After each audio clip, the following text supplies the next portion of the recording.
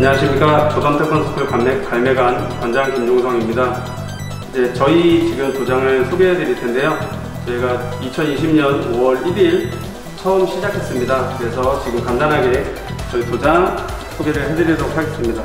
여기는 제 제자들이 입상을 해서 탄 트로피 메달들이고요.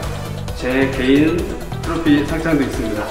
네, 이곳은 저희 부모님들 상담실 부모님들이 이제 처음 상담을 오시거나 면담하실 때 이쪽 공간을 활용해서 해서 상담실이고요. 그다음 이쪽 공간은 부모님들이 그냥 아이들 수련하는 모습을 볼 수 있는 대기실.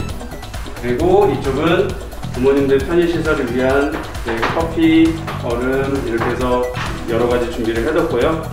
이제 부모님들에서 기다리시면서 우리 유치부 아이들 보면서 구경하실 수 있도록 유리 창문을 크게 만들었습니다. 자, 지금 들어와서 복도로 들어왔고 이쪽 복도 공간에 아이들이 수납 가방을 놓을 수 있는 수납함이 많이 준비를 해뒀습니다. 그리고 아이들이 마실 수 있는 정수기와 쓰레기통, 그다음 재활용 쓸 수 있게 해뒀고, 또 이쪽 사물함 반대편으로 해서 이쪽이 남자 탈의실, 옷을 갈아입을 수 있도록 남자 탈의실이 있고, 저 안쪽으로 들어가시면 여자 탈의실이 준비되어 있습니다. 저희 아이들이 해서 상상력을 발휘하고 할수 있게 색색깔로 해서 유치부 아이들이 수련할 수 있는 공간입니다.